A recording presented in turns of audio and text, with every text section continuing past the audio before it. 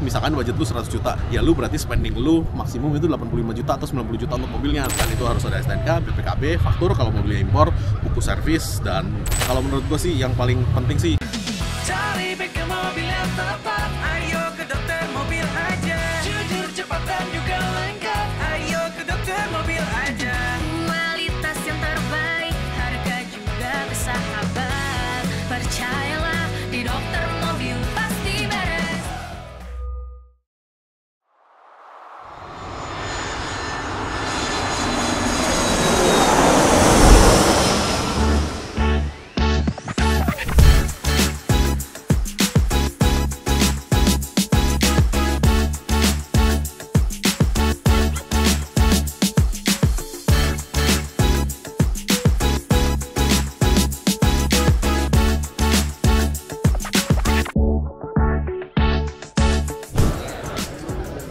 Oi, kita lagi ada di SEMA Las Vegas. Kita lihat ya, seru sih hari ini sih. Dingin banget, banyak angin, dan rame sih, gila rame minta ampun.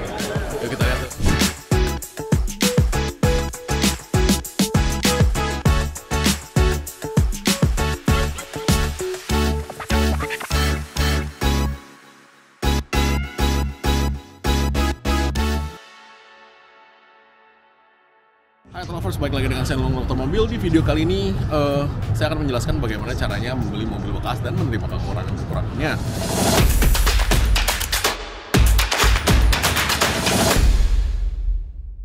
Nah, kalau lu beli mobil bekas jangan berharap 100% no problem ya. Itu udah pasti ada beberapa parts yang lu harus ganti, cuman kan bisa lu budgeting kan gitu kan. Nah, tips sebelum mau beli mobil bekas itu nomor satu, lu tentukan budget lu dulu nih. Eh, mobilnya mau di harga berapa? Terserah lu mau kredit, lu mau cash, yang penting lu tentukan harganya dulu nih. Dari harga baru mobil, jangan kebalik mobil dulu baru harga. Terus lu caranya mau komparasi gampang sih, lu masuk ke marketplace yang kayak OLX, yang kayak mobil 123 bla bla bla itu semua lu bisa cek dulu harga-harganya ya kan yang bagus berapa, yang itu berapa dan baru lu ke showroom-showroom nih yang lu kenal nih. Nah, di showroom-showroom itu juga lu bisa tanya kan, lu ada mobil ini nggak, mobil itu nggak, lu tanyain harganya berapa gitu loh. Nah, kemudian siapkan budget itu misalkan budget lu 100 juta, ya lu berarti spending lu maksimum itu 85 juta atau 90 juta untuk mobilnya. Karena lu spare 10 juta itu untuk perbaikan ketika atau penggantian parts ketika mobil itu lu udah tarik keluar dari showroom, ya kan? Kemudian cek dokumen dan kelengkapan, ya kan itu harus ada STNK, BPKB, faktur kalau mobilnya impor, buku servis dan yang lain-lain kalau ada nikir kalau apa segala macam kalau ada.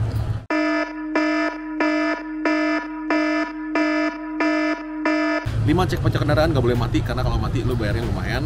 6 cek fisik ya fisik itu kan bisa body eksterior interior itu bisa lu pakai autospektor ya untuk ngecek ya. Jadi lu nggak terlalu harus pusingin lah ya mereka udah ada template-nya sendiri. Nah kalau menurut gue sih yang paling penting sih satu interior kedua nomor dua transmisi. Kalau yang lain-lain perbaikan oke lah ya relatif murah. Kalau yang namanya transmisi perbaikan udah pasti mahal.